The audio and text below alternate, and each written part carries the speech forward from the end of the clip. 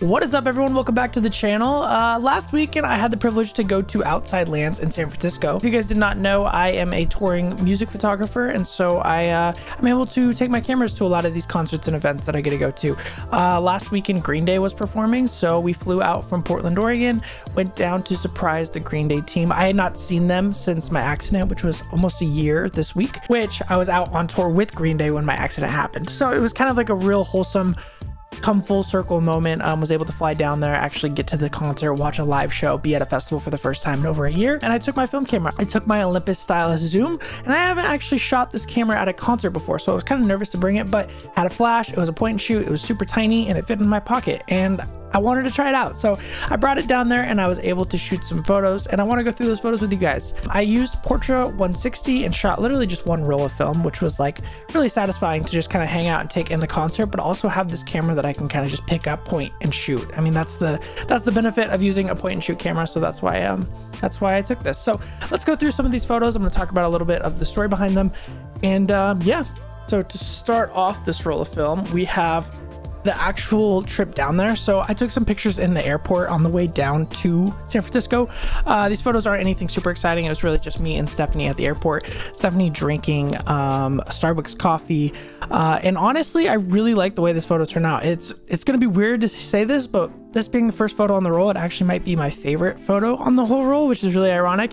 It's just like a cool photo. It hit focus. The flash is really cool. It gives like this nice tone. And Portra 160 is like a really good uh, portrait film. So I, I thought it turned out really, really good. These next photos are actually of Jack Harlow's set, which was a little bit intimidating for me to shoot. It did, there was a lot of daylight out, so Portra 160, I didn't feel too held back by that. But I also was like in the barricade of the photo pit and shooting up at him. So I wasn't sure if the contrast of like the super bright sky with like the black stage was gonna work with the photos, but they actually turned out really decent as you guys can see.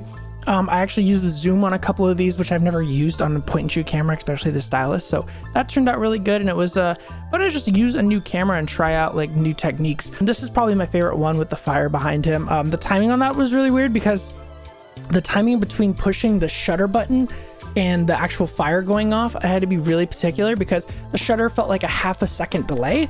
So I would like focus and then I would anticipate the flames going off, and then I would have to shoot the photo. So that anticipation, I didn't know if any of these would turn out. You can tell on some of them, like the fires in the background, but it didn't actually turn out like exactly how I wanted it to. Um, but these were just some photos of Jack Harlow at his performance. Really good performance. If you guys have not seen Jack Harlow live, you should. It was a it was a really really good time. These are actually photos backstage. They're special to me in a few different ways, but one of the main reasons is when I was on tour, uh, we would give each other like gold stars. We had like a gold star chart, um, and those gold stars meant you did something good. But Jake only got frowny stars. I only got frowny faces. So every time I would do something good or really like sarcastically bad, they would give me a frowny face. Um, and so when my accident happened, a couple of the band members, not band members, a couple of the crew members actually got a frowny face tattooed on them. Um, so this was me actually getting my gold stars on my tour pass and my uh, go-kart because I love driving around the go-karts um, at the venues. So I finally got my gold stars after a year of waiting for them. Uh, next up is this photo of Outside Lands stage. It was really cool. They had like the Bay Bridge behind the stage. It looked kind of like it was actually there, but it wasn't. So this was just cool. I thought that was pretty symmetrical and just made sense to take a photo of. This was backstage, some of the crew backstage. I think they actually picked up my camera and took this photo. I don't remember taking this one. Here is Billy getting ready for the show. Um, this is him and his mother. I really love this photo. I saw them interacting and uh, I just had to flash that, put that flash off and get a quick photo. I'm really, really impressed with how well this the camera actually hit focus. I really recommend this camera after using this this thing all weekend. It, uh, it definitely is a tank of a camera. And if you guys are looking for like a solid point and shoot that you can fit in your pocket and not have to worry about at all, this is a great, this is a great option. This is a photo of Mike Dirnt. He, this guy's a legend. He's fucking incredible. He's been so great to me through uh, my accident and everything. And every time he sees me in the barricade, he always like makes sure to like say what's up or like make eye contact and take a photo. So this was him seeing me in the barricade and he dropped down and got this photo and I'm really happy with how it turned out. I, I can't believe the camera was able to uh, hit focus so well and like especially in low light with Portra 160 in there pretty intimidating. This is one of the security guards. This is actually Mike's security guard. Um, so this is one of the band members. It's actually the music director and his kid backstage. This was actually in between some songs where he's not on stage. So him and his kid were backstage talking, and I was like, "Hey, you two to get together for a photo." Flash, uh, flash on, and just nailed it. And again, really impressed with the focus that these hit. This is a photo that says Jake's home in case or Jake's case in home. Um, and this, I put this on one of the cases during the Hella Mega tour and it has been there all the way through, even though it's starting to deteriorate.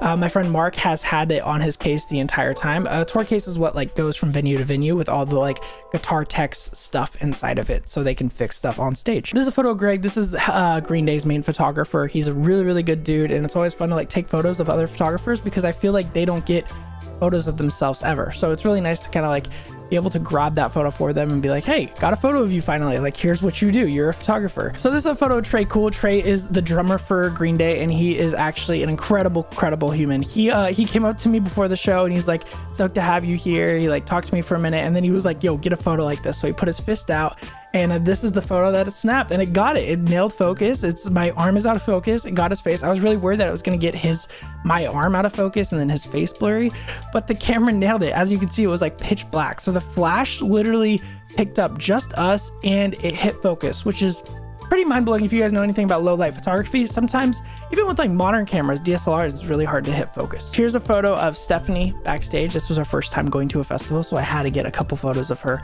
backstage at the show. And uh, and yeah, that's that rule of film. As I said, it was one roll, uh, one contact sheet worth of photos, which is like 36 exposures, shot on Portra 160 with the uh, Olympus Stylus Zoom. So if you guys are looking for a point and shoot camera, it's a great camera. I think it's pretty affordable, say around 150 bucks. You could probably find one online. And um, if you're looking to get into film photography, it's a great starter camera. Um, I hope you guys liked this video. I really enjoyed shooting these photos and I enjoyed making this video.